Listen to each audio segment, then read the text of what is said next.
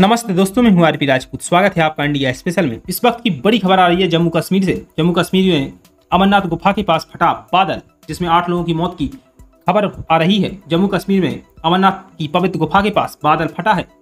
इसमें आठ लोगों की मौत हो चुकी है। एनडीआरएफ, आईटीबीपी और एसडीआरएफ की टीमों को बचाव कार्य में लगा दिया है। जम्मू कश्मीर में अमरनाथ की पवित्र गुफा के पास बादल फटने की जानकारी सामने आ रही है।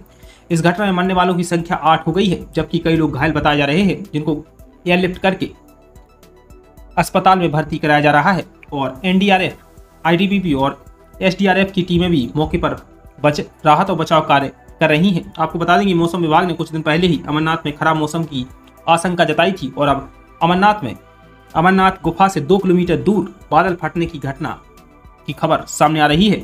बताया जा रहा है कि निचले इलाकों में करीब शाम साढ़े पाँच बजे बादल फटने की सूचना मिली थी। केंद्रीय गृह मंत्री अमित शाह ने घटना पर संज्ञान लिया है और उन्होंने जम्मू कश्मीर के उपराज्यपाल मनोज सिन्हा से फ़ोन पर बात की है। खबर ये भी आ रही है, प्रशासन की टीम बादल फटने के बाद की स्थिति का आकलन कर रही है। फ़िलहाल नुकसान की आधिकारिक सूचना नहीं है, लेकिन इस वक्त की बड़ी खबर यही है कि अमरनाथ गुफा के पास बादल फटा है, जिसमें आठ लोगों की मौत हो चुकी है। अमरनाथ गुफा से सिर्फ़ दो किलोमीटर दूर बादल फटा है, जिसमें जानमाल की हानि की खबर आ रही है, जिसमें आठ लोगों की मौत हो चुकी है और घायलों को बचाया जा रहा है।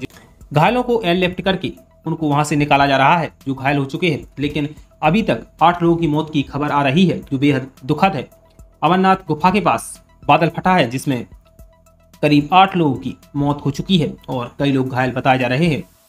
दोस्तों, अभी के लिए इतना ही। देश दुनिया की तमाम खबरों के लिए बने रही इंडिया स्पेशल के साथ।